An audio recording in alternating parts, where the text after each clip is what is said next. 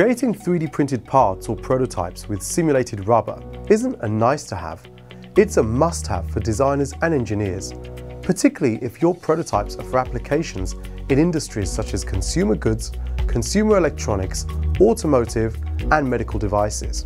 So this is the new Agilus 30 rubber-like material family from Stratasys. It's available in black and translucent. And it provides superior tear resistance of up to 6 to 8 kilograms per centimeter, elongation at break of up to 220 to 240%, and tensile strength of up to 2.4 to 3.1 megapascal, which makes it ideal for prototyping delicate designs or parts that undergo repeated flexing and bending. The material features an improved surface texture that's not only easier to clean, but also looks and feels more like rubber.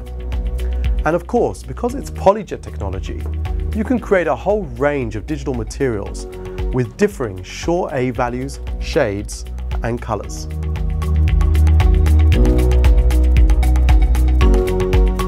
So here's the Agilus 30 combined with digital ABS material for simulating tough parts with rubber surrounds, overmolding, and really good non-slip surfaces.